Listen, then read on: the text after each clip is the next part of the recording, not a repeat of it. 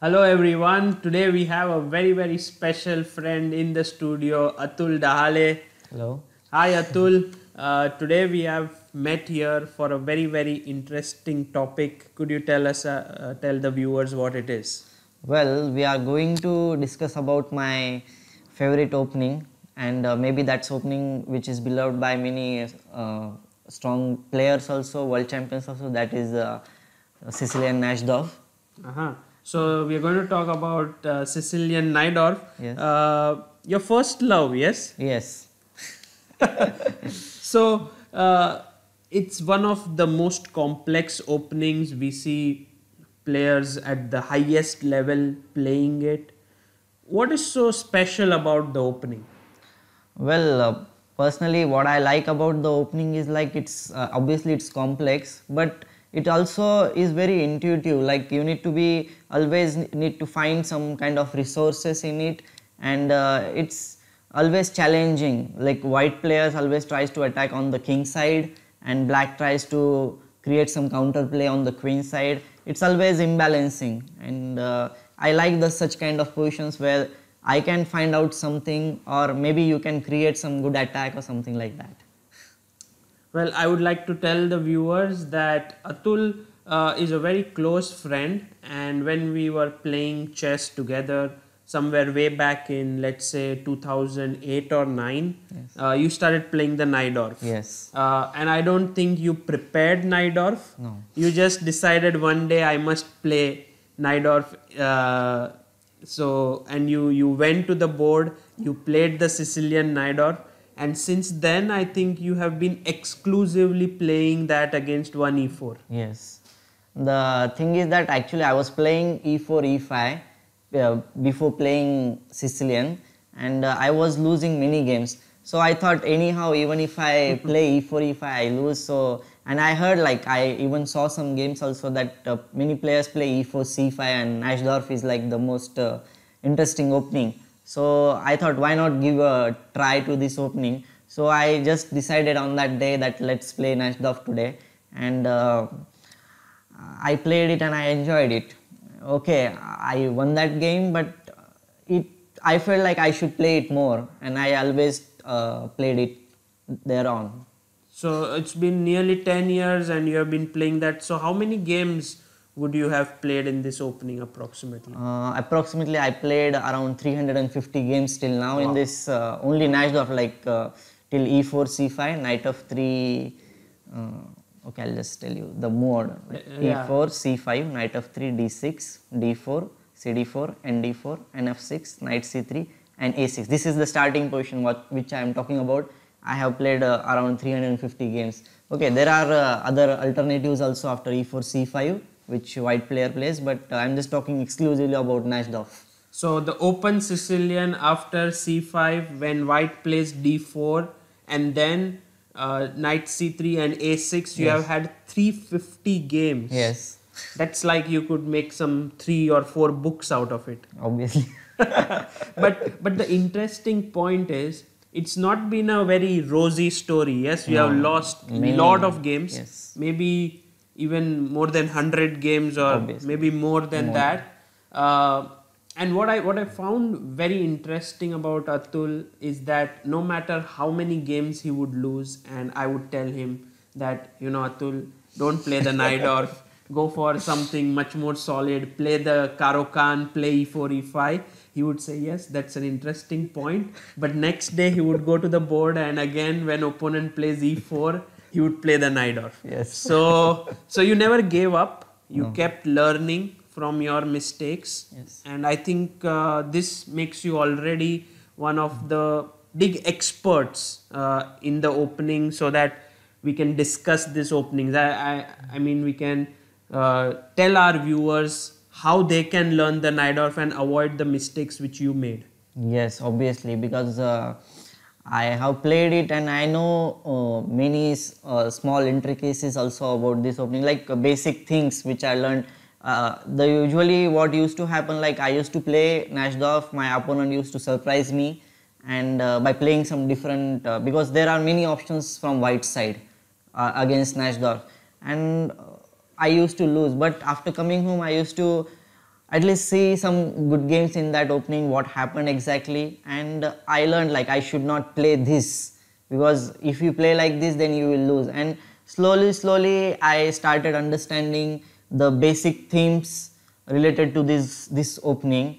Like uh, okay, there are uh, we will discuss about it in. Uh, our games or something Yes. which we are going to but i learned from my mistakes mainly rather than you can say like uh, studying some book or uh, studying some opening database already there which usually players nowadays do what i did was a very lengthy process but uh, i learned better i think and that's why nowadays even if somebody is playing something new against me in Najdorf i hardly get surprised about it because I have always played like that only. So I don't have that type of fear. Like I will be surprised in the opening and I will uh, just lose or something. I will always try to find out a way. Right. So he, you learned it on your own and you have now a good grasp of the opening. So Yes. let's begin with today. I think you're going to show us uh, a very thematic game in the opening. It's between uh, Leonard Hill and Robert James, Fischer. who was the greatest player of our game of chess, and he was one of the experts of this opening. So I always used to look at his games and also of Kasparov's games. So you can say like and uh, which this game which he played in 1957. Uh, that time he was playing in the USA Junior Championship. So we'll just see. Sure. Uh, and maybe we should flip the board because you know this is like we are looking from black side. Yeah. So maybe we can have that on our end. Yeah. So let's look at from this end because if you are going to play the Najdorf, you will have black on your side.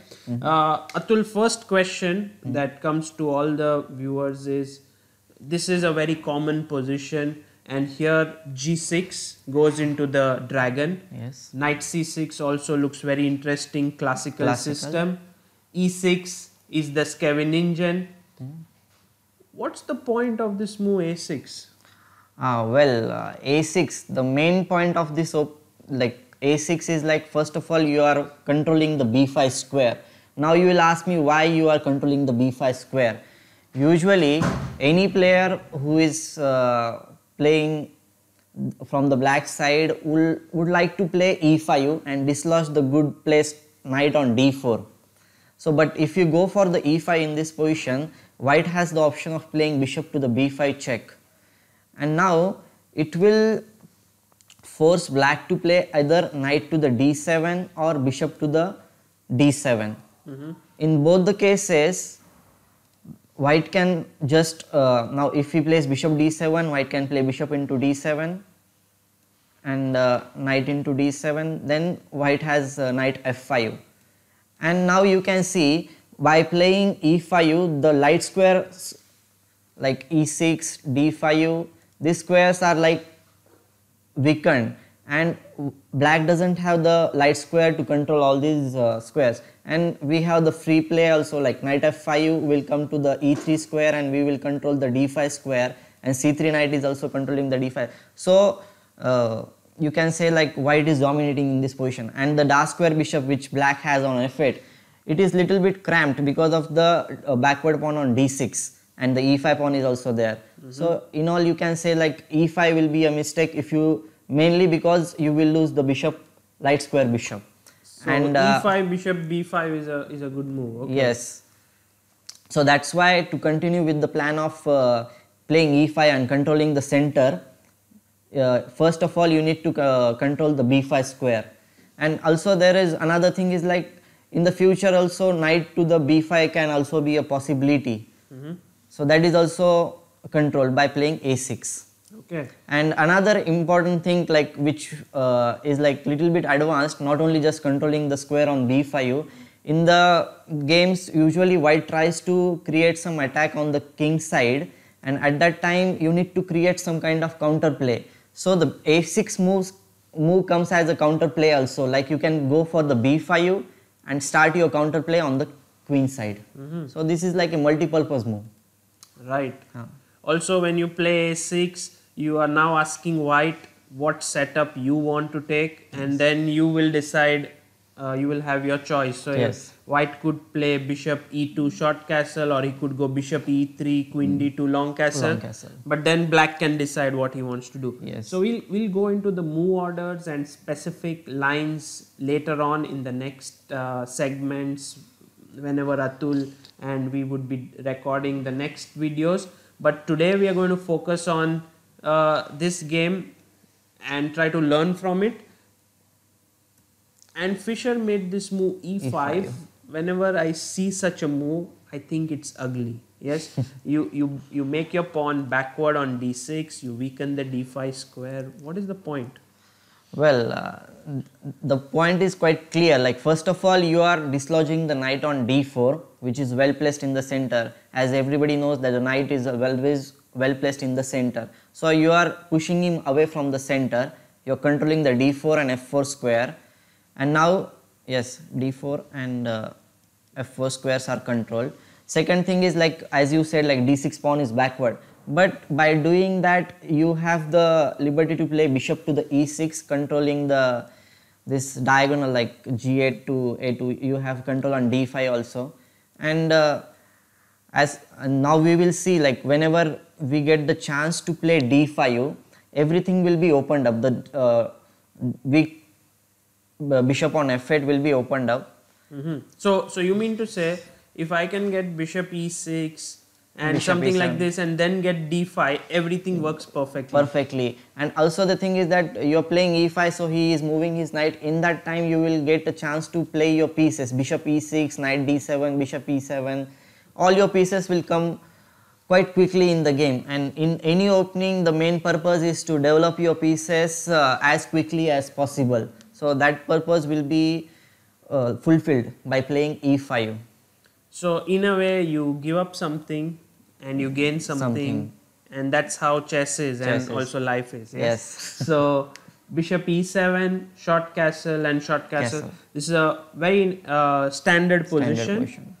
And uh, bishop e3, bishop e6. I think many many games could go this way. Out of Yeah, your sure. 350 games, perhaps you might have played maybe 30, 40. 30 40 games and here like uh, in this uh, game white played f3 but some players even play f4 here some players play queen d2 king h1 there are like this kind of options are always there so there are many possibilities but he played f3 mainly the idea of playing f3 is to strengthening the e4 square and now the c3 knight is little bit free it can uh, move to the d5 square and uh, i'll say that this is like a balanced position Right. Hmm. Well, the first question that would come to anyone's mind that black was trying and what we spoke about is d5. yes This move is possible here. yes but by playing d5 you, you will not achieve what you want to achieve. But first of all i i think like you should develop your piece on uh, b8 first like playing knight to the d7 Mhm. so that you will uh, bring one more piece. Let's suppose d5 is played as you are talking about. D5 e into d5 knight into d5 and knight into d5 bishop into d5 and uh, i'll say that uh, you didn't get anything because white will just play bishop to the d3 here and uh, try to control this diagonal or he can play queen d2 and rook to the d1 so white has his pieces already ready in the game. Also- whereas uh, black's pieces are not that much uh, in the game. Oh, Also, I was wondering if c4 is strong because Yes. I, I could push back, I could take, and then maybe think about putting my bishop, Bishop. here or um, yeah, just bishop b6 followed by rook f d1, and it looks like white has a better end game. Yes. Bes- better end game and his pieces are much more well placed Yes. Also, this knight a5. Knight A5. So sometimes what you are aiming for, like the move d5, if you get it too soon, it's not the best. Hmm. You need the perfect timing. perfect timing Okay. So knight bd7 first complete your Com- development. queen d2 knight b6 now the idea is quite clear. Black wants to play uh, d5 and he is much more well prepared i think Hmm. in this position because after the exchanges which will happen on d5 if let's suppose if white gives us try means option of playing d5 then your uh, pieces are ready to come on d5 Right. quite easily. So rook f d1. yes I think d5 is still possible over here. Yes. Uh, But in the game, Fischer went queen to c7. C7. He is uh, preparing, and also the thing is that he is uh, getting ready, like rook f d1 or rook c8 is also So these are the two places where you want to put your rooks. rooks. So rook f d8 and rook a Uh, the thing is that uh, white really cannot control the d5 square so easily because he has only his knight and the pawn on e4 and his rook and queen is there but we have more minor pieces controlling the d5 square and he doesn't have. So we have more options of playing the d5 maybe at a later stage of the game. Okay. So you will anyway get d5, and I think if white wants to stop black from going d5, he might have to give up this bishop, Bishop. and put his knight on d5. D5. But that's a clear concession. yes because you will get two bishops Yes. and it will be beneficial for you So queen e1 was played in the game, uh, and then black got his move Move d5. d5.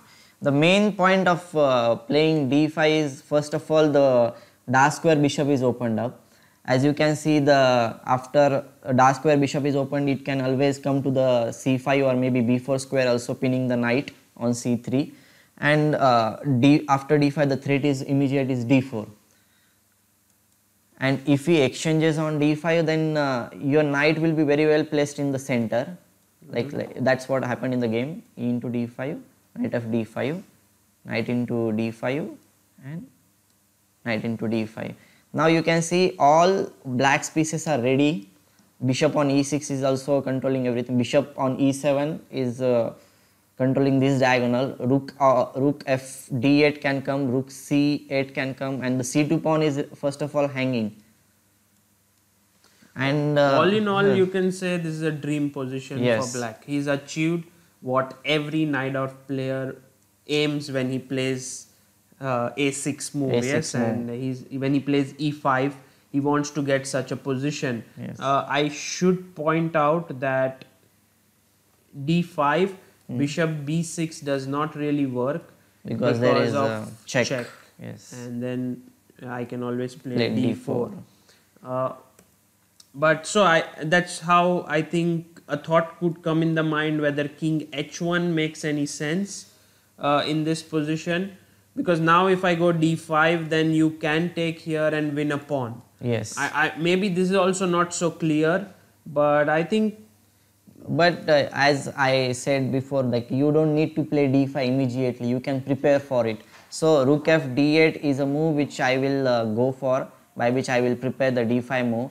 And now if white goes for bishop into b6 i'll just play queen into b6 and then knight d5 happens then knight into d5 Well, let's see knight d5 knight d5 e into d5 and bishop f5 we have two bishops and uh, i will uh, say that two bishops will be good for us in the end game. And uh, another thing is that he is giving up his good bishop because as you can see his pawn on f3 and d5 is there which will uh, stop the like moves of that light square bishop. So i will prefer playing with the black pieces in this position rather than playing with the white pieces. And another thing is that the knight on b3 is not having any good squares. The e5 uh, because of the e5 pawn the d4 square is controlled and the c5 square is also controlled. Right. and uh, if even if white tries to play c4 or something he will not get the c5 move so easily. So i'll prefer black's position. Okay, so queen e1, d5, D5. and we had these exchanges. Now bishop is hanging, but after Yes. bishop f2, Fischer simply snapped this pawn. Pawn. His pawn up, and of course this is just bad. Bad. Uh, you, he just develops his piece because uh, even if queen into c2 happens rook into c2 comes and uh, rook on 7th rank is good right. You take, take. and bishop, Bishop g5 this G5. is just uh, He, he lost a pawn, Yes. but now Fischer came in, and now this is the b2 pawn will fall you're losing another pawn. Yeah. So very instructive game by the by world champion Bobby Fischer. Bobby Fischer. Uh, I think the point to learn here is first of all Atul's explanation of the move a6, Yes. e5, which is a little bit counterintuitive. I think some people do prefer to play e6. e6 to control the d5 square and not to make any weaknesses but i will say that no need to be afraid of such things because everything is uh, under control it's a dynamic equilibrium i'll say Sure. So you go e5, and then later on, uh, another important point which we discussed was not to rush with this move d5, D5. but instead finish your development, get your queen to c7. At the right moment, you can bring your rooks to d8 and c8. Uh, and like Fischer did in the game, if you get d5 at the right moment, you definitely equalize, but you could even get an advantage. yes because your pieces will be playing much more freely and uh, you will have a good play Right. So this was our first lecture on the Najdorf.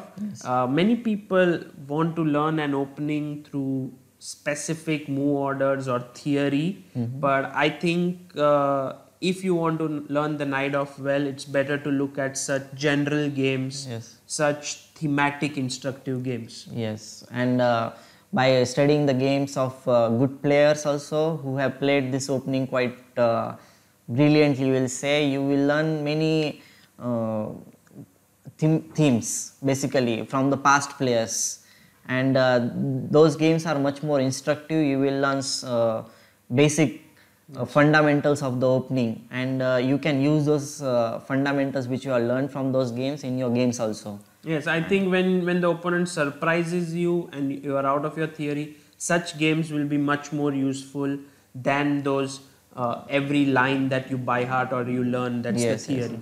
because you al- you will always uh, have some kind of ideas in your brain like what you need to do in such positions because you have learned the uh, basically the structure or uh, the themes or the patterns you may say like patterns. Because uh, in chess pattern recognition is very important. And uh, if you have learned this pattern like uh, d5 can come and i should not rush so early. I should first develop my pieces. So even if your opponent has played something new to you you will not be afraid of such thing. You will first of all develop your pieces and you will try to get the d5 breakthrough. And there are many such fundamental things about this Najdorf which uh, we will discuss in the next lectures Yes. Yeah. So uh, I hope that we will soon meet. We'll do the next lectures and thanks Atul for sharing your knowledge uh, on the Najdorf opening. I hope that uh, with this video and subsequent ones which we will soon publish, people will start uh, picking out this opening because I know personally that when someone wants to play the Najdorf, they're always afraid of this huge theory. yeah So maybe we can break that. Break that. Uh, there is theory, but uh, we, we can begin step by step. step by step All right. So see you soon and thanks once thank again. you thank you very much